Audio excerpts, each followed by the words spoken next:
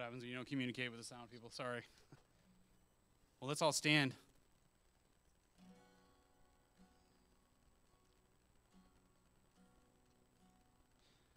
Lord, tonight we just want to come and worship you. Uh, Father, tonight we simply come with songs that reflect your heart, Lord, songs that we know are truth. And uh, Father, we want to come and just open ourselves up to you and hear your heart.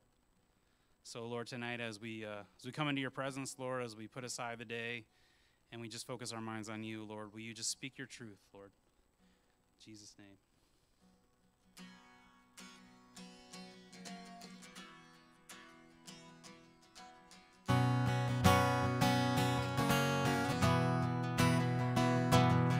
darkness tries to roll over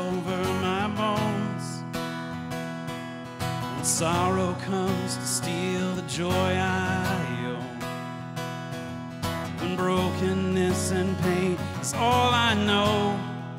Oh, I won't be shaken. Oh, I won't be shaken.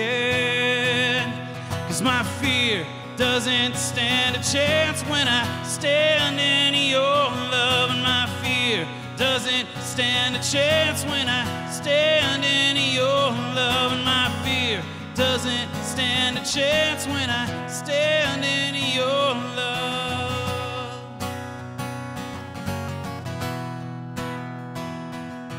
Shame no longer has a place to hide. And I am not captive to the lies. I'm not afraid to leave my past behind. Oh, I won't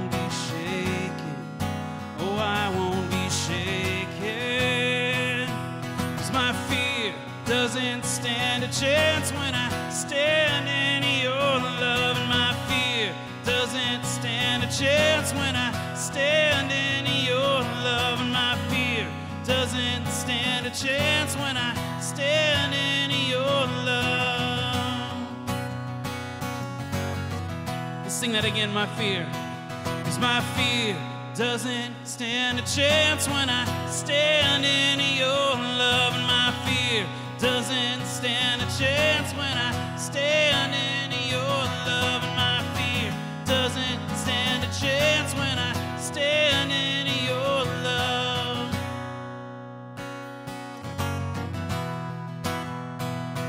And this power that can break off every chain.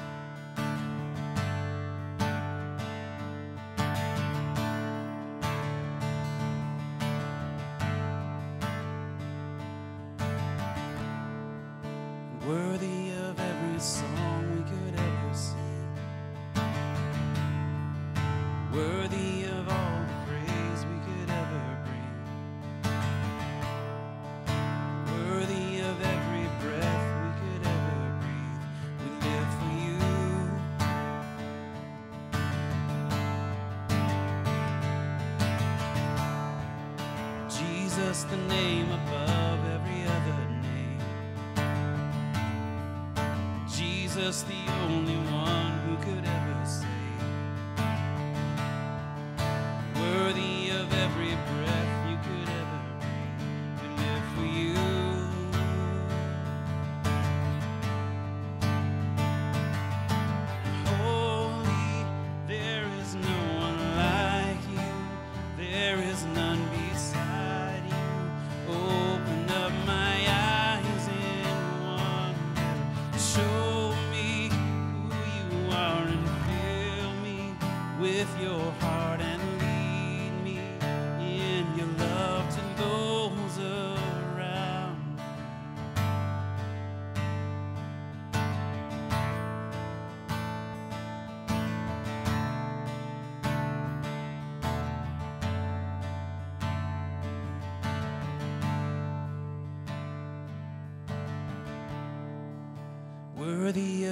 greatest song we could ever sing.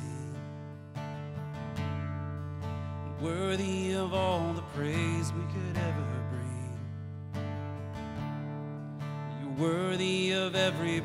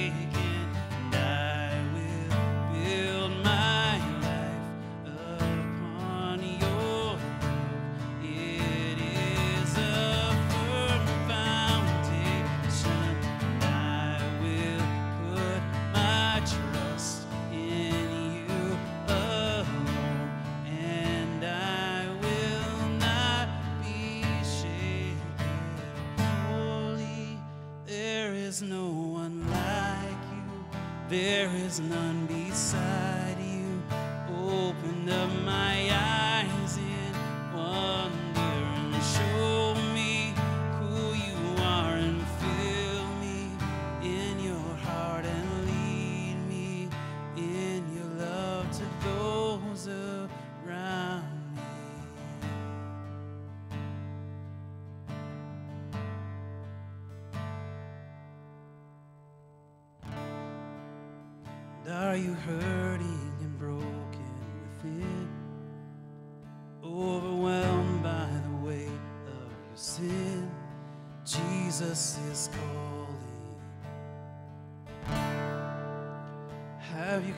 to the end of yourself?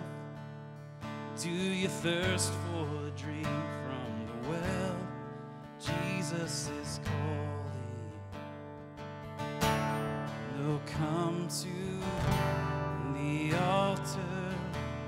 The Father's arms are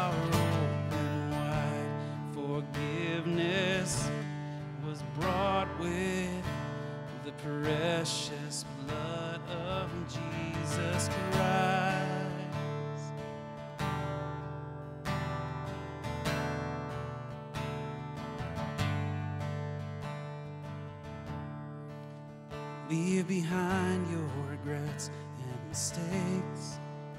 Come today, there's no reason to wait. Jesus is calling. Bring your sorrows and trade them for joy. From the ashes, a new life is born. Jesus is calling.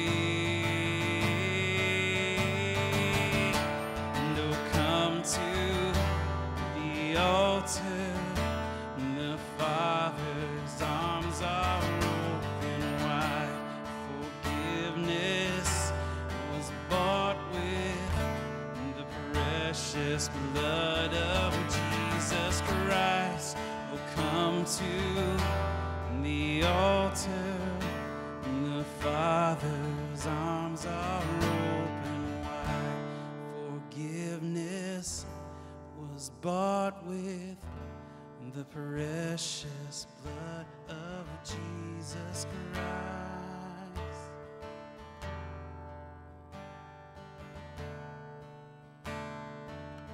Let's sing this out together. Oh, isn't He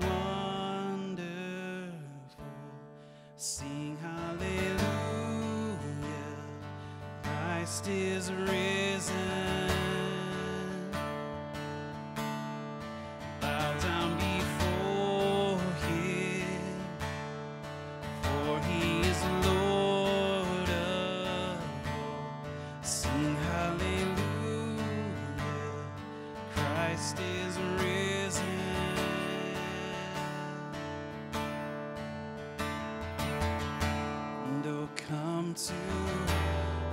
The altar.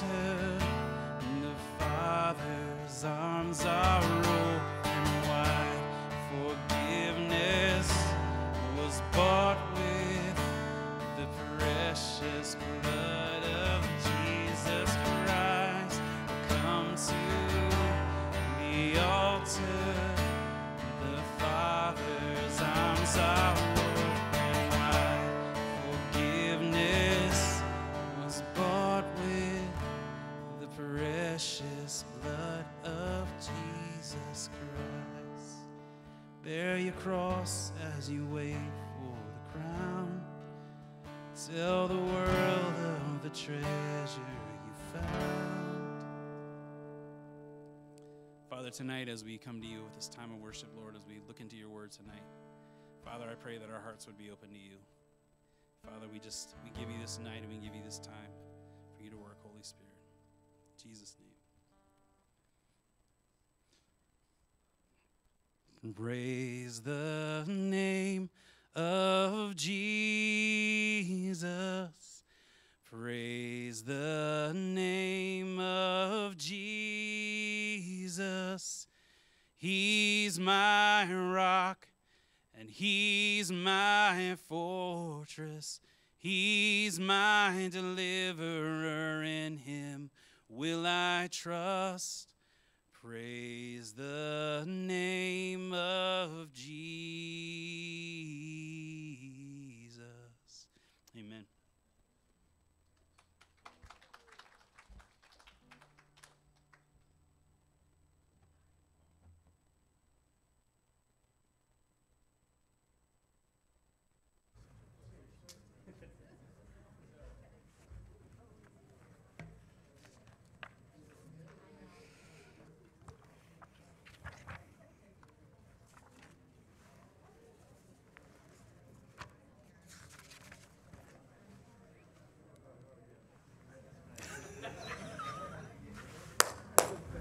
I haven't even started and I'm already getting heckled.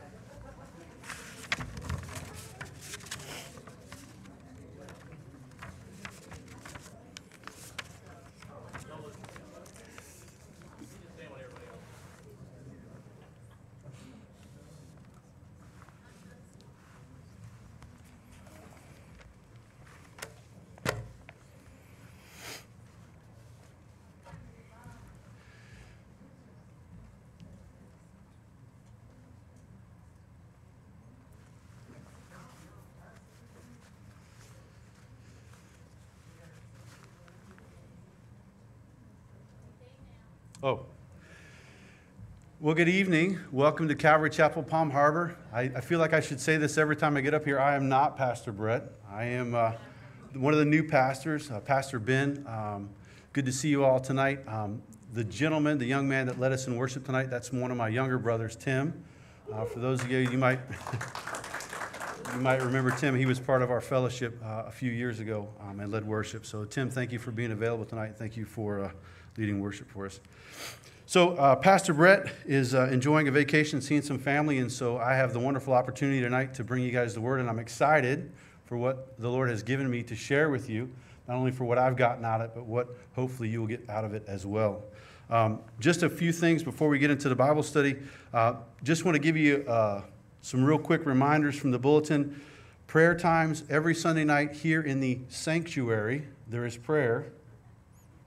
Did I do good that time? Sanctuary. I got heckled by my pastor on that.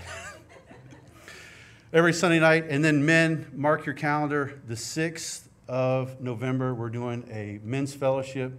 Um, ribs will be provided. Just bring a side dish and bring a buddy. Um, and we'll have a wonderful time of fellowship um, here at the church. Um, a couple other things going on. I encourage you just to familiarize with the bulletin. So I'm going to put that away for now, as Brett says. So I wanted briefly, partly to get rid of my nerves, and partly for those of you who don't know me that well, because I am one of the new guys, I want to tell you that so far, I've been here for a few weeks. I think it's been about six weeks so far. And I want to tell you my experience in ministry up to now. I had a wonderful opportunity to substitute teach at the Young Men's Bible Study on Sunday nights, and I was so excited. It was going to be my first chance to do ministry. Jose, you're already laughing. So, for those of you who don't know the story, I'll tell it again because I like telling it. So, I showed up to cover. I'm there. I'm ready. I'm prayed up. I have this message. I'm excited. And for those of you who know the story, please don't ruin it. So, I'm there, and it gets closer to start time, and I'm the only one there. It's me and Jesus. And then it's 15 minutes after, and one young man comes in, and he doesn't know me, and I don't know him. And so he looks at me and he says, Sup, bro? And I'm like, Hey. He goes, Where's Joel? And I says, Well, Joel's out tonight. I'm covered. He goes, All right, I'm going to go get some snacks. I'll be back in a minute. Just me and Jesus. My second ministry opportunity, I signed up for the children's ministry on communion night to watch the kids, K through fifth grade. Guess who showed up? Jesus. Just me and Jesus again. So I say this with sincerity. I, it's really good to see you guys here tonight. oh. Hey, if you would, if you would, please turn in your Bibles to Psalm 103. Psalm 103. Psalm 103. I really enjoy the way that Brett leads us to realign our hearts before we get into the Bible study He realigns our hearts and makes sure we're focused and we're open for what the Holy Spirit has for us. And so I'd like to continue that. So, Psalm 103, and I'm going to start reading in verse 1. Bless the Lord, O my soul, and all that is within me. Bless his holy name. Bless the Lord, O my soul, and forget not all his benefits, who forgives all your iniquities, who heals all your diseases, who redeems your life from destruction who crowns you with loving kindness and tender mercies, who satisfies your mouth with good things, so that your youth is renewed like the eagles. Midweek service, we've already been in the world, we've already been at work, we've been through it so far, and so it's good to realign and just take our deep breath and be reminded that He has benefits and we have opportunity for those benefits. To take the things of the world and just settle down and align our hearts and say, All right, Holy Spirit, here we are. We know, Holy Spirit, that you who has inspired the word, we know it's you who's working in us as believers. And so now we ask as we open the word that you will speak to us. So I'll give you a few minutes now to pray and ask the Holy Spirit to prepare your heart for the message tonight.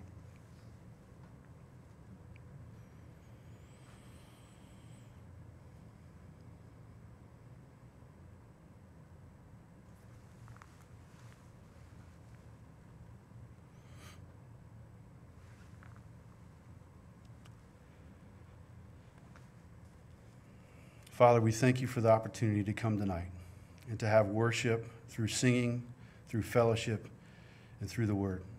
Holy Spirit, will you come and inhabit the word tonight? Will you take the words, the study that I've done, and will you give messages to each one of us, how it applies to us? May we take those messages, and Lord, may we put it to use in our lives. Father, we are grateful for this time, grateful for the work that you're doing and for your many benefits. In Jesus' name, amen.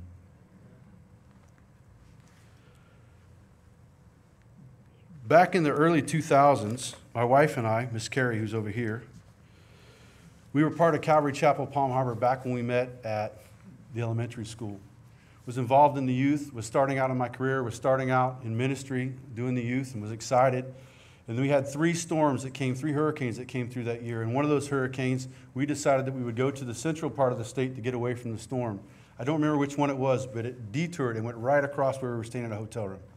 But while we were in Central Florida, I am a Disney freak. Like I've always loved Disney, and I, I, just been one of those infatuated things. So while we were there, I went into there and actually applied for a job as a journeyman machinist, which was is my trade. Three months later, Disney called me and they said, "Hey, we're interested in you. We'd like to offer you a position." I was talking to Miss Carrie and I said, "I'm happy where I'm at. Everything's good." And she said, "Well, why not just go on the interview and see the machine shop because you're such a Disney freak." Long story short, I went on the interview, enjoyed it, and I took the job. Part of Disney, working for Disney as a journeyman, is that there's tests you have to take. And so as I'm going to Disney, my first day of work, I am such a Disney freak that I'm excited. Matter of fact, some of the people that I work with would say that I had an extra dose of pixie dust. I was so giddy. So if you can imagine at six foot six and 300 pounds, giddy, it's uncomfortable for people to see, but I was giddy. to work at the happiest place on earth, I remember at 5:45 in the morning, my first day of work, driving onto that property and just feeling like I work at Disney. This is so exciting. And there was like an energy and there was a passion, there was all its excitement.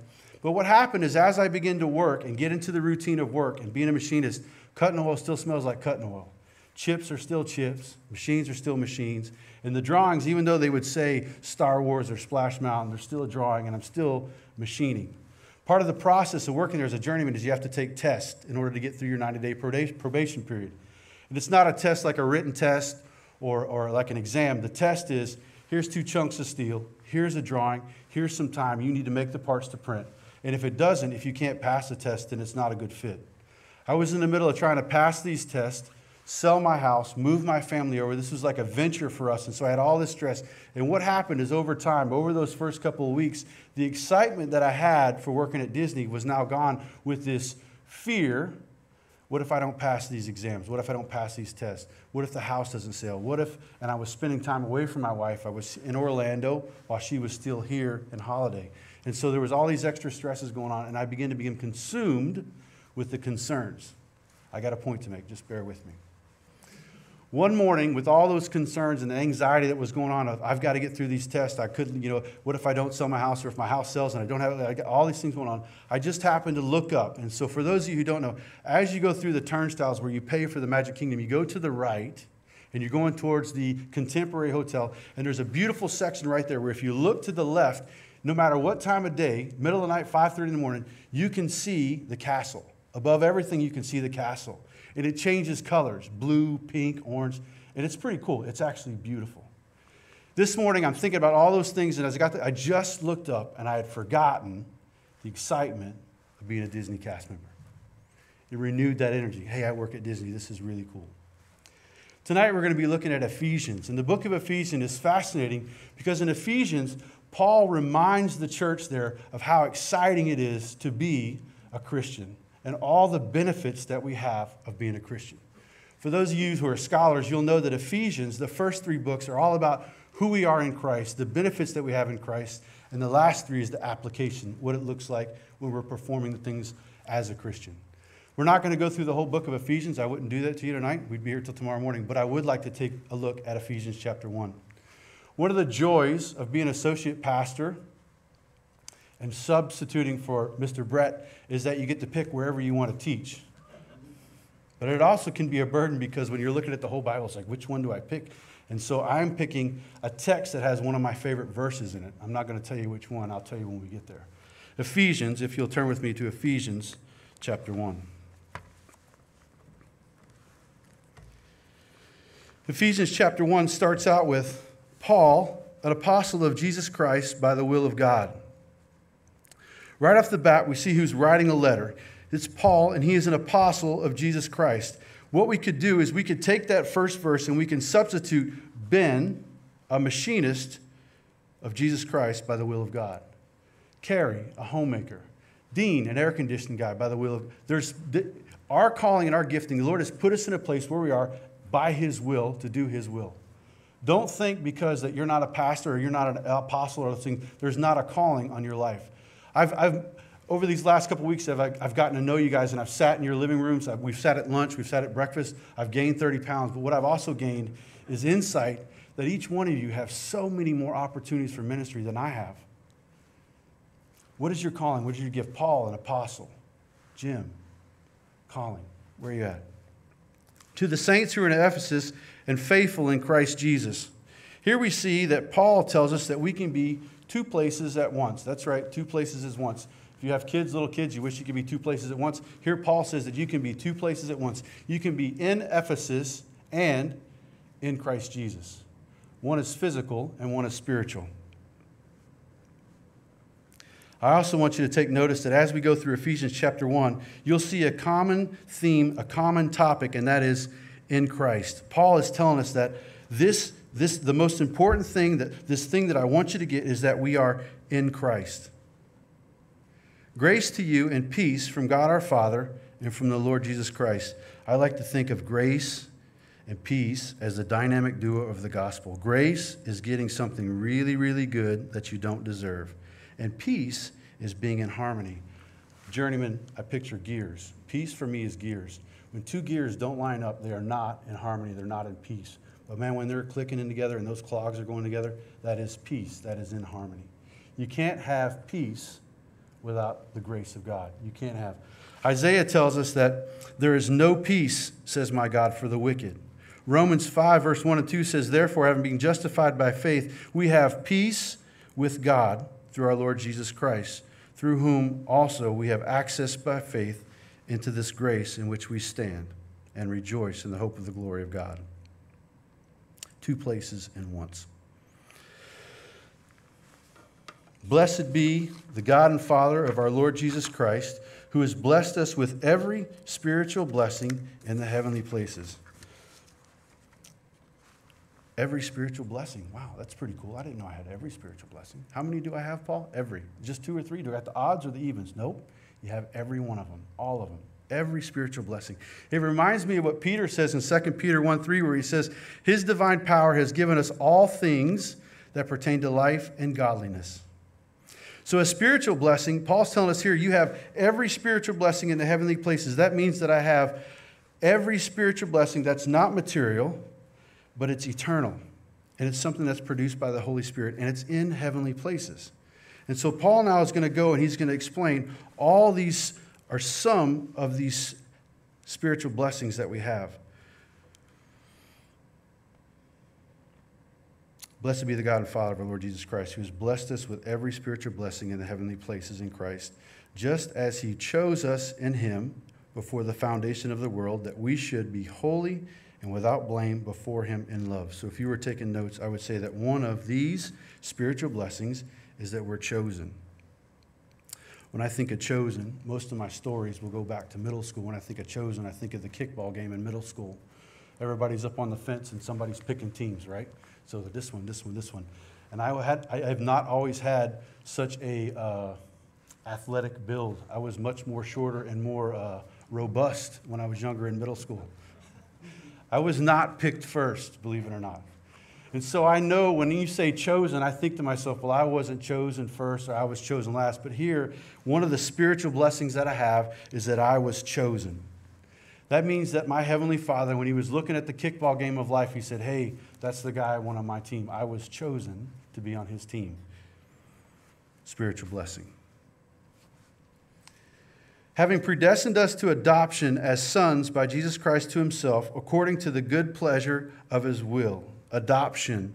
Adoption is a word that means, let me just tell you, I'm sorry I'm so nuts and bolts about this, but let me tell you, when I think of adoption, like I have three children, beautiful children, love them most of the times. Three children, no, I, they're teenagers. I love my children Joshua, Samuel, and Emma. Love them.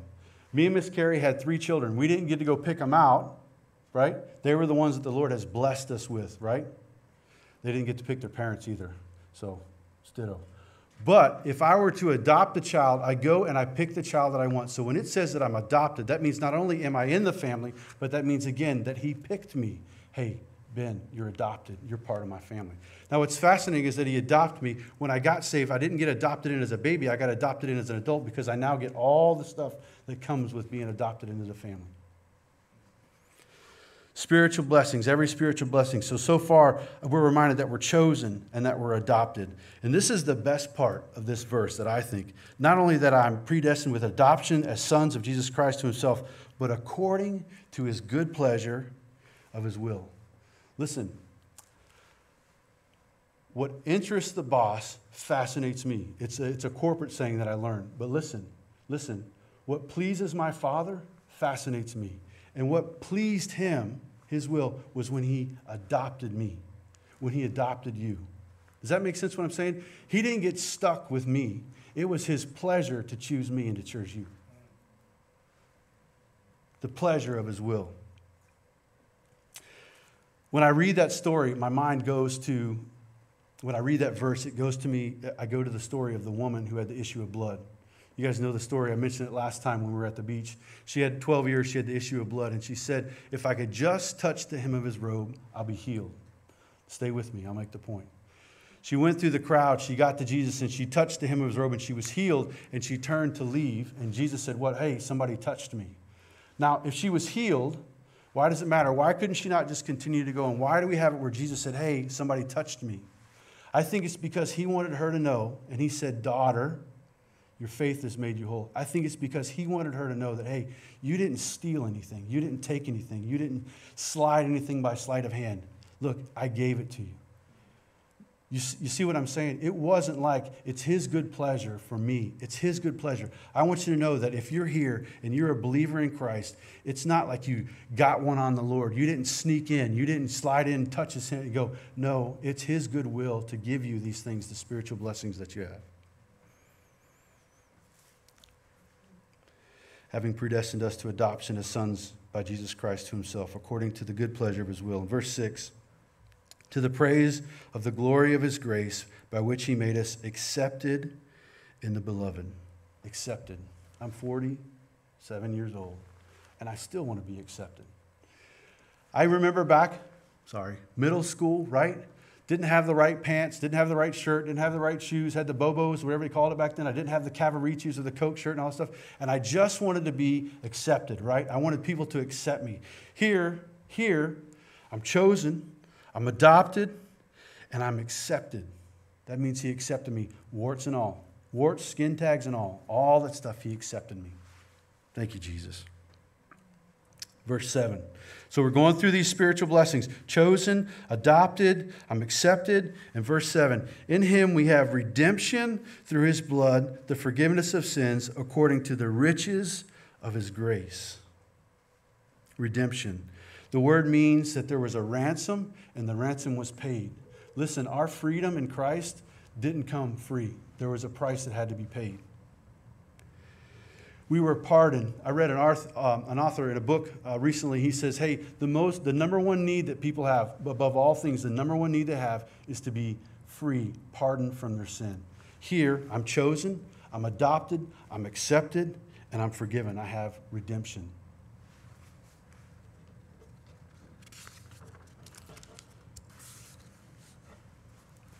In him we have redemption through his blood, the forgiveness of sins according to the riches of his grace. Notice that my redemption doesn't come because of his love, but it comes because of his blood, which he has made to abound towards us in all wisdom and prudence, having made known to us the mystery of his will according to his good pleasure. There it is again, his good pleasure, which he purposed in himself that in the dispensation of the fullness of the times he might gather together in one all things in Christ, both which are in heaven and which are on earth in him. In him also we have obtained an inheritance, being predestined according to the purpose of him who works all things according to the counsel of his will. Please notice again the common theme of in Christ, in him. So we've talked about I've been chosen, I've been adopted, I have redemption, I've been accepted, and now we see that there's an inheritance. Let me tell you, the inheritance that we have, it's not your dad's shed. It's a Falur joke. My dad had a shed. He always had a shed. And there was always these little trinkets and stuff. And he was always working on stuff. And there was nuts and bolts and saws and all the rest of this stuff. You know, this is, hey, one of these days, this is all going to be yours. Listen, our Heavenly Father, our inheritance is not dad's shed. It's good stuff. Not that dad's stuff is not good stuff, but it's good stuff. We have an inheritance. Jesus said, I'm going to prepare a place for you, right? It's a mansion, streets of gold. We have hope, and Brett has mentioned this before. Our hope is not, I hope the Rays win. We don't know if that's going to happen. Our hope is in something that's concrete and solid. He's preparing a place for us. Please notice that we have obtained an inheritance. We don't have to wait to get to heaven to receive our inheritance. We can have it now. Eternal life starts now. Verse 12. That we who first trusted in Christ should be to the praise of his glory. In him you also trusted after you heard the word of truth, the gospel of our salvation in whom also, having believed, you were sealed with the Holy Spirit of promise, who is the guarantee of our inheritance until the redemption of the purchased possession to the praise of his glory. So, listen, we talked about we're chosen. We've talked about we've been adopted. These are these spiritual blessings. We've talked about accepted, redemption. We talked about his good pleasure. We talked about this inheritance. But listen, we also got the Holy Spirit. Jesus said, It's better for you that I go. Better for you that I go, that the Holy Spirit will come. Do you know what? If I go to McDonald's certain times of the year, don't laugh, Emma. Dad, your stories always have food in them. Amen. There's going to be a feast one day. Jesus used it. If I go to McDonald's certain times of the year, I can get an ice cream cone, right? I can get a vanilla ice cream cone any time of the year at McDonald's. Certain times of the year, they'll do it chocolate dipped. Do you know what's better than a vanilla cone? A chocolate dipped vanilla cone. Jesus said, It's better for you that I go, that the Holy Spirit comes. That means that He Jesus said it's better for you that you have the Holy Spirit now. So the Holy Spirit is here working in us. And so this is one of those spiritual blessings that we get is the Holy Spirit. He gives us guidance, he gives us wisdom, he's teaching us, he's comforting us, and he brings us supernatural power. Supernatural power. I also we also have the Holy Spirit as a proof of salvation. What do you mean proof of salvation, Ben? I think that there's three things. If you are questioning, when I look around, I see solid, mature believers, but I believe there's three proofs of salvation. Ben, how do I know that I'm saved? I think one of them is the indwelling of the Holy Spirit, supernatural power, supernatural wisdom, and all stuff. That is, uh, hey, it's right here. We received the Holy Spirit when we believed. The second one, I believe, is supernatural love. Jesus said, They will know that you are my disciples by your love for one another. There's a supernatural love when you have given your heart to the Lord. And the last one is it's not my favorite, not my favorite. Discipline, supernatural discipline. Jesus said in Hebrews, who the Lord, lo- or sorry, Paul, whoever wrote Hebrews, I was going to say Paul, and I know this is a debate. Whoever wrote Hebrews, the Holy Spirit inspired, thank you, said, the Lord disciplines, he chastens the ones that he loves. So, hey, if, you, if you're doing something wrong and the Lord's disciplining you, that's good. That means you're his. I can tell you that I've experienced that. Everybody else can speed on US 19, but if I speed, I promise you I'll be the one that gets caught because he loves me. The Holy Spirit, one of those blessings, supernatural blessings that we have. Verse 15. Therefore, I also, after I heard of your faith in the Lord Jesus and your love for all the saints, do not cease to give thanks for you, making mention of you in my prayers. Faith, love, and prayer. Faith and love is the fruit of repentance. That's something that we get as a spiritual blessing. Faith and love. The disciples said, Lord, increase our faith. Faith and love, again, is the fruit of the Holy Spirit inside of you. Those are some of those blessings that we get faith and love. But prayer is an action that we take. I I'm reading a book right now. It's, uh, in part of that book, in the beginning, it says that you, we, can't do anything supernatural. It's the Holy Spirit, it's God that does the supernatural work. All we can offer people is Scripture and prayer. How freeing is that, right? So when you're in a situation or you're with somebody and there's something going on and they're asking for help or asking for counsel, that you can say, hey, I can't give you pills, I can't give you medicine, I can't do all, but you know what I can give you? I can give you scripture and prayer. Communication with God. Verse 17 that the God of our Lord Jesus Christ, the Father of glory, may give to you the spirit of wisdom and revelation and the knowledge of Him. Here's where Paul is showing you this prayer that he has for us, for the church in Ephesus. And the, the fascinating thing to me is that when Paul is praying this prayer, that he doesn't mention a new camel, or he doesn't mention uh, a better camel, or he doesn't mention a building ministry. Do you understand what I'm saying? He's praying things for the eternal, eternal concepts. Hey, I'm praying that you will have the spirit of wisdom and revelation and the knowledge of Him. The definition I have for wisdom wisdom is the experience of knowledge and action. Let me explain. When I was in trade school, one of the first things they taught us how to do, besides blueprint reading, is they taught us how to make our own lathe bits out of a piece of cobalt steel. So I read in the book, and then I had my teacher teach us how to make a lathe bit. So you take a piece of cobalt, you got to take it to the grinder, and you got to do all this stuff. And so I had the knowledge of how to make a cobalt lathe turning bit. You with me so far? Wisdom came after I'd done it about four or five times, and then I knew you can't get it too hot. You got to have the right rake angle. You got to have all rake angle. You got to have all the rest of these things in there. And so wisdom. So wisdom is not necessarily knowing, just knowing what to do, but it's the application of it, it's doing it.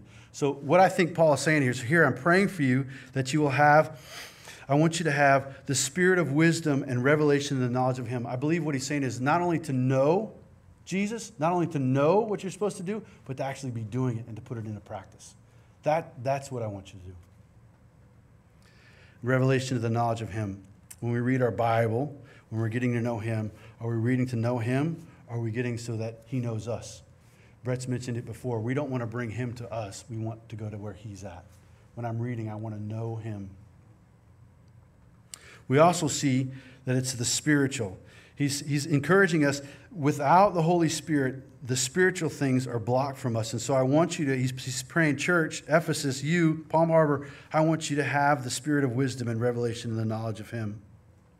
Verse 18 The eyes of your understanding being enlightened, that you may know what is the hope of his calling, what are the riches of the glory of his inheritance in the saints, and what is the exceeding greatness of his power towards us who believe, according to the working of his mighty power. Three things the hope of his calling, the glory of his inheritance, and the exceeding greatness of his power. Please notice that all three of these, it's not my calling, it's not my inheritance, and it's not my power. It's all His. His calling, His inheritance in the saints, and His exceeding greatness of His power. This last week, I had an opportunity. we have had some, we lived in Pinellas County before, and now we're back again, and so I forgot about the unwanted, uninvited guests that can come into your attic and come into your house. We had the pleasure of having one uh, in the living room, not in the living room, in the foyer area. And so um, caused a lot of excitement in my house. And so I had an opportunity this last weekend to actually climb in the attic and put some wire, redo some wire in the eaves and all that stuff. And uh, it, was, it was fun. So I haven't done that in a long time. I'm, I haven't done that in so long. And so I'm going up the ladder. I've got all my stuff with me, right?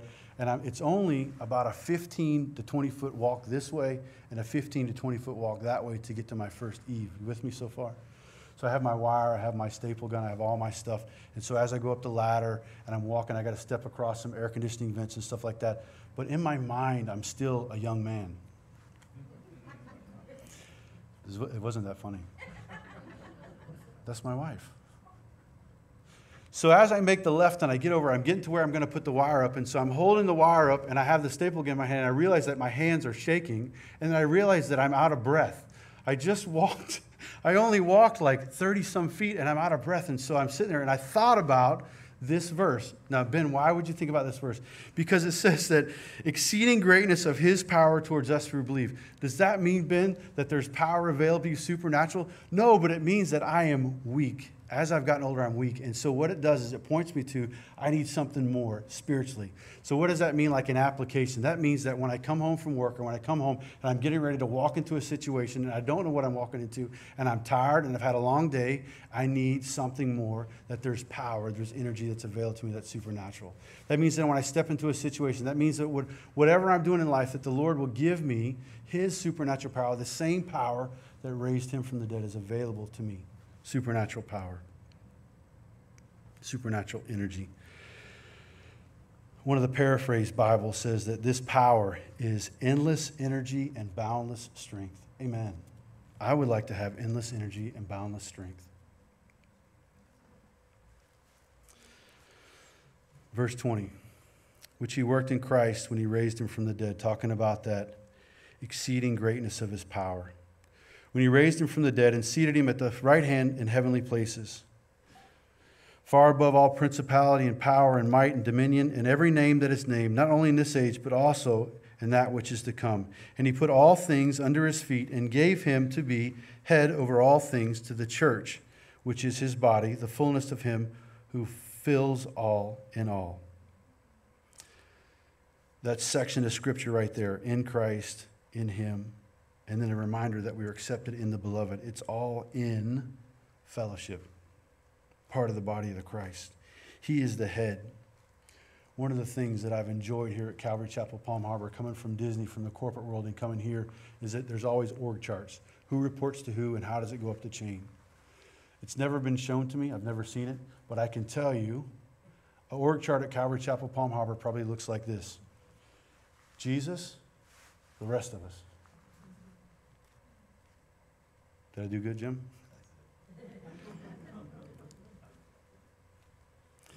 He is the head of his church. And I promise you, in the meetings, in the prayer meetings, and the things that I've been involved in with the leadership here, he is the head of this church. And it's exciting to be part of that. Thank you. He fills all in all. So to me, when it says that Jesus is the head of the church. I know that he's in charge. I know that we are his body. So if I were to go in the throne and in my mind, my vivid imagination, we didn't have TV in our house until I was in middle school. So when I picture the throne room of heaven, I picture God the Father sitting on his throne, right? And then he has this picture frame right there. I'm adopted. We're adopted. We're his kids. And so there's a picture frame of his kids, right? All good dads have a picture. So there's a picture of his kids. And the picture frame says, world's best dad, right? But if you look to his right, that's where the son is, and it's the same picture, and this is his bride, this is the body, same picture, right?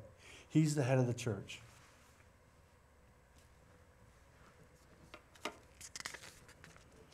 Chapter 2.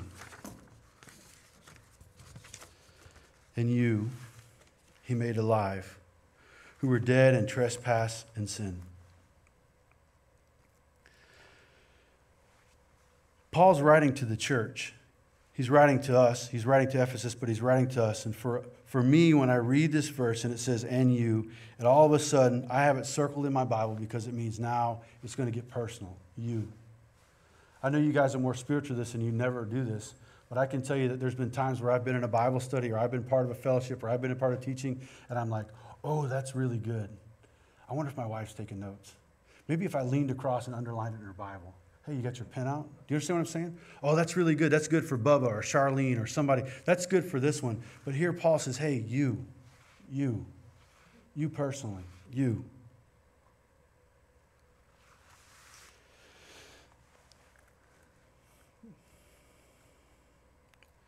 We went to the Deep South Men's Conference in South Carolina. I was blessed. It's the first time I've been to a men's conference in I don't know how many years. I think Promise Keepers was the last one I went to. I don't know if I'm allowed to say that from the pulpit. So that's Brett Robinson at ccpalmharbor.org.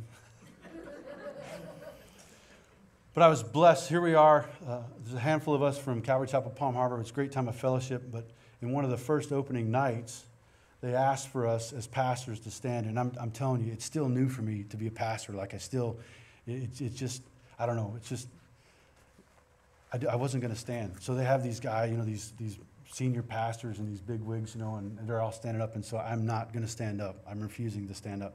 So I'm slouching down in my chair. And the Holy Spirit is poking me, AKA Dave Negri. You got to stand up. You got to stand up. I don't want to stand up, Dave. my turn came and I stood up and I said my name, you know, and I sat back down, you know, faces red, sweating real bad, nervous, had to stand up for all these four or 500 people. Listen, I'm in South Carolina. We're at this men's conference, three or 400 people, and it gets done, like towards the end of that session. And this gentleman comes walking up, and he's waiting patiently. I see him in periphery, and I'll turn around, and it's this friend of the family. I'm not going to say his name, I don't think it matters. Haven't seen this gentleman in 20 some years. But when my family first moved, when my dad went out of the ministry, moved to Largo, Florida, back when I was 14, 13 years old, this man and his family was there for us and loved on us and encouraged us. And there was a time when I strayed from the Lord bad. I rebelled outwardly, and I'm not going to go into it because I don't want to glorify that life. But this, this man prayed for me and for my family, for my mom and for my dad. There was a time where I was, it was so rough that my mom made me go work with him at his job to get out of the house during the summer. And here this guy is standing here. So afterwards, I'm like, I believe in divine appointments. So I'm like, Lord, why would you bring this guy here tonight? It was encouraging. It was exciting to see this man of God and it reminded all that stuff. And it was like he was telling me, You were dead in your sins. Do you remember where you were at when you were 14, 15 years old before my grace came and found you? You. He made alive who were dead in trespasses and sins. Dead things stink. I found one of these unwanted guests and let me just tell you, I didn't think it all the way through. And so when I released him from the device that I used to capture him, I put him in the garbage can next to where my wife parks. Two days later, my wife said, It's got to go. you got to do something different. So I had to go in the garbage can and dig this little rascal out. Dead things stink. You he made alive who were dead in trespasses and sin in which you once walked according to the course of this world, according to the prince of the power of the air, the spirit who now works in the sons of disobedience. I know I don't have to say this, but I feel like I should, and it's in my notes. Hey, can I just tell you that people without Jesus act like it? Don't be surprised. How many times we've been to the beach or we've been somewhere and it's like people in the world that don't have Jesus, they act like they don't have Jesus.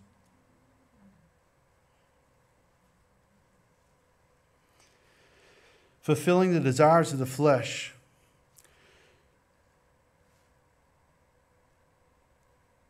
There's a comparison for us where we can remember where we walked according to the desires of the flesh. But now we are walking by Spirit. The Holy Spirit is working inside of us, but before, the flesh was working inside of us. I don't want to dwell on it too long, but I think there's a great reminder to be reminded of God's grace when we look back in that. among whom also we all once conducted ourselves in the lust of our flesh, fulfilling desires of the flesh and of the mind, and were by nature children of wrath, just as the others. It's a great, it's a great little section, two words to underline if you do in your Bible. But God.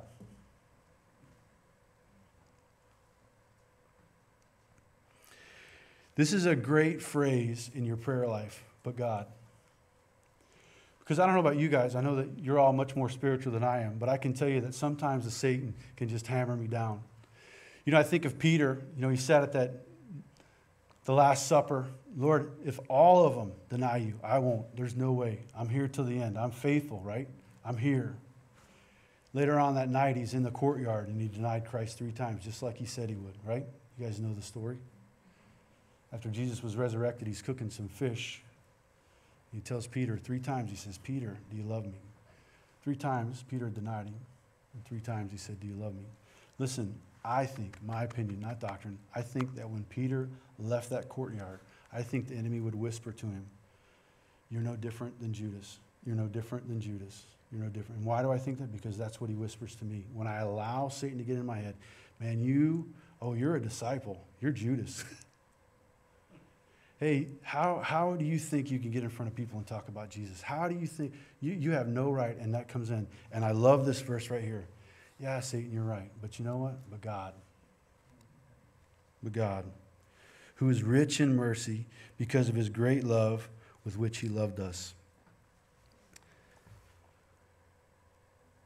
Rich in mercy. Rich means that it's just not enough to get me by. Rich means that there's an overabundance, more than I can ever ask or want for. Many years ago, Miss Carrie and I, I think Emma was a baby. I think it was Emma was a baby. I was working second shift at Disney, and so I had the mornings off, and we decided the house we were living in St. Cloud, we wanted to put new floors in. And we found out that Home Depot had a deal going on where if you got their credit card and you bought like at a certain day that you got an extra, so you got 20% off and then 10% off, whatever. And we figured out if we waited and got it at a certain day at a certain whatever, we could get like half off off these floors that we were going to put in. It was a big savings, so we were so excited. So we go to Home Depot. This is like in the morning before I go to work, and it was me and Miss Carrie, and then Emma's in the back. We go to the Home Depot there in St. Cloud. We've got it all figured out. We're going to get it. And the lady says, We don't have that flooring here, but we have it in our store in Kissimmee, which is like a 30, 45 minute drive away. You remember the story, love? So I said, we, we got, I got to go to work this afternoon, so we got to be quick, so let's just go. And so Miss Carrie was driving, and so we're, I'm, I'm forcing my wife to drive above the speed limit. That's the speed of grace, just above the law, right? So don't, don't quote me on it. Brett, uh, Brett Robinson at ccpalmharbor.org. So just, so we're speeding down 192. My wife is speeding by my, you just go, and we come to a light that is turning yellow, maybe could be red. And I'm like, just run it. We don't have time. And she looks at me like my wife looks at me when I make those great decisions for the family. And she runs it. And she says, You know, there's a police officer behind me. True story. Lights come on.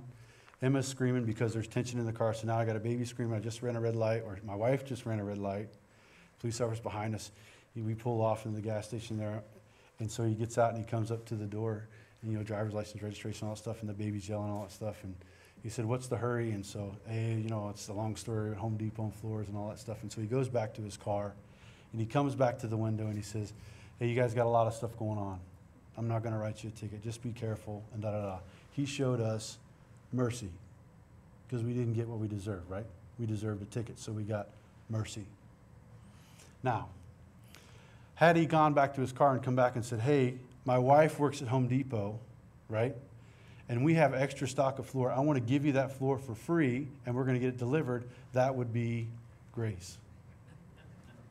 Didn't happen, but anyhow. Rich in mercy, rich in giving us what we don't deserve. Not just a little bit, a lot of what we don't deserve. But God, who's rich in mercy, because of his great love with which he loved us, even when we were dead in trespasses, made us alive together with Christ. By grace, you've been saved.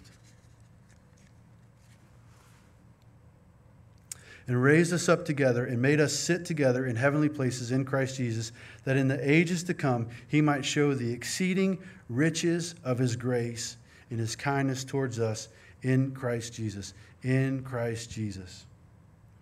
These sections of verse, he's talking about we're alive with Christ, we're raised up together, we're sitting together. Notice that it's we and it's us together. It's not you. It's not a singular, it's a plural. He's made us alive. Definition of being alive, and I think I got this from Wikipedia, is you, something that responds to the environment, it's able to reproduce, it has metabolism where it can breathe, and there's growth and there's change. He has made us alive. raised up together, sitting together in heavenly places. Part of the bride, part of his body, part of the church. Please notice again that it's not singular, it's plural. He's made us alive, he's raised us up together, and he's made us to sit together. We're in the same team the church, the bride of Christ, his body. Ephesians 4 15 and 16. Speaking the truth in love may grow up in all things into him who is the head, Christ. Verse 16 from whom the whole body, joined and knit together by what every joint supplies, according to the effective working by which every part does its share, causes growth of the body for the edifying of itself in love. What does that mean? That means that we, I need you, and you need me. Here at Calvary Chapel, Palm Harbor, we are using our gifts together because we are together, us together.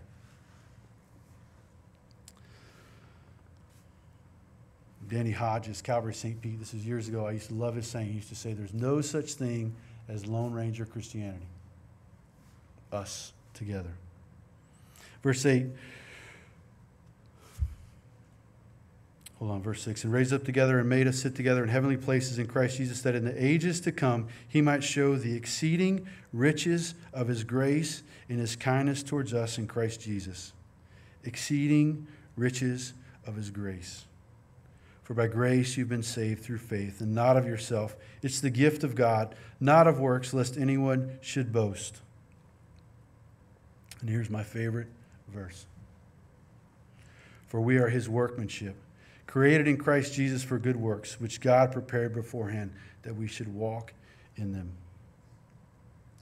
To me, this verse is like a crescent wrench If you're going to go work on something, plumbing, or work on a car, or do something, you can grab a half inch wrench and a 9 16ths and a 3 8 But then if you grab that crescent wrench, it's adjustable and it can fit all kind of different things. This verse is good. It's like a crescent wrench. It fits. I believe that every apprentice to Jesus should have this verse in their toolbox because it's great. Listen, listen. We, for we, is plural. It reminds me that I'm not alone, that I'm part of the bride of Christ there's no Lone Ranger Christianity, that I'm part of the body, that I'm not out there by myself. I'm part of the team, part of the brotherhood. We are His workmanship. His. I'm not my own. I've been purchased by His blood. I'm chosen, adopted, accepted, redeemed. I have a Holy Spirit. I'm His workmanship. Workmanship, I know the, the, the, word means to be manufactured. It's poem, it's a poem. But when I think of manufactured coming from the machine shop industry, I think of him making each one of us, going, taking a little bit of iron, a little bit of nickel, and all those things, and he forms us. He makes us into whatever type steel he's going to put us in 4140 pre hard, mild steel, stainless, whatever it is. And being manufacturers mean that I might be a gusset you might be a gear, but He's making us all at the same time, manufacturing us, and He's putting us together. And He's using the rivets and the hardware of His love to knit us together. Manufactured.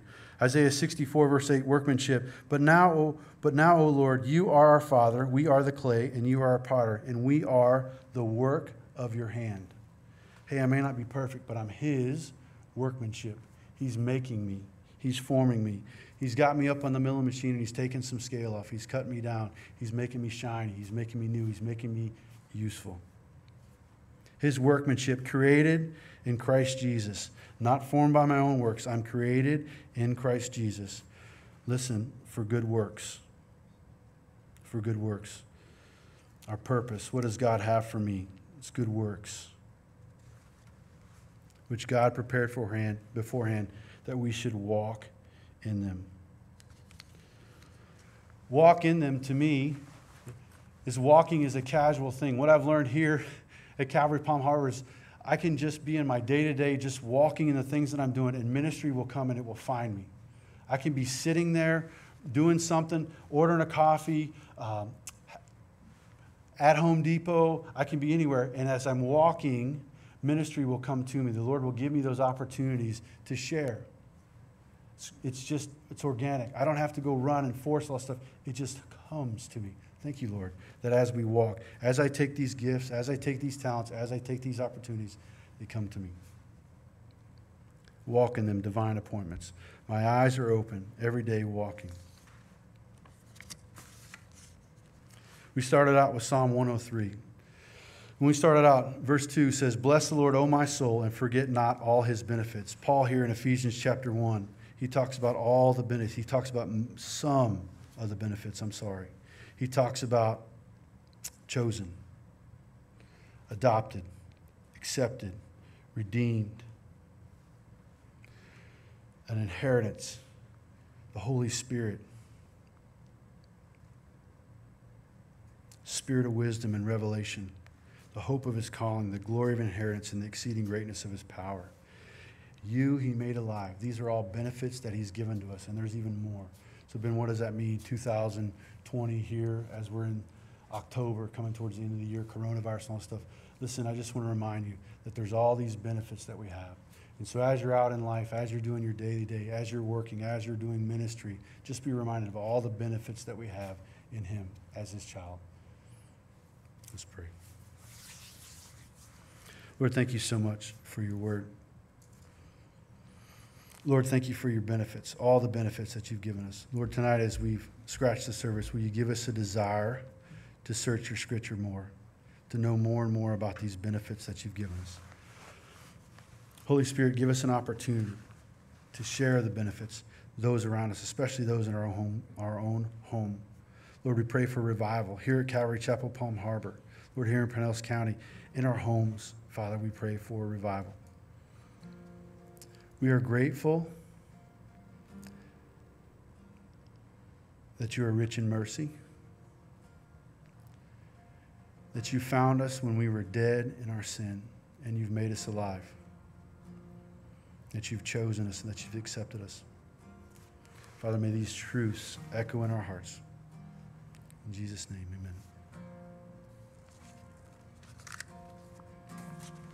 amen. Jesus, Lord of heaven, oh, I do not deserve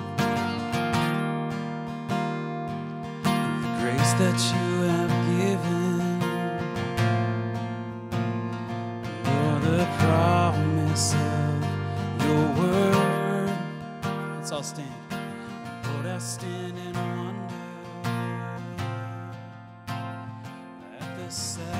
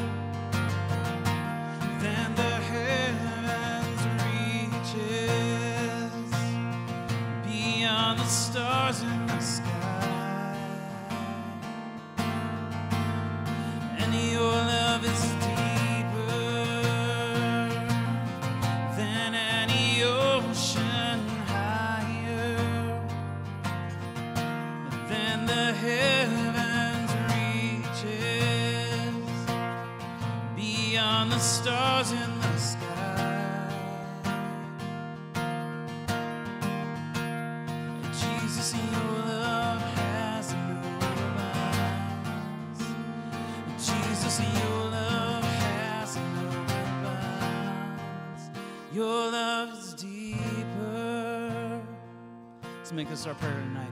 Any ocean higher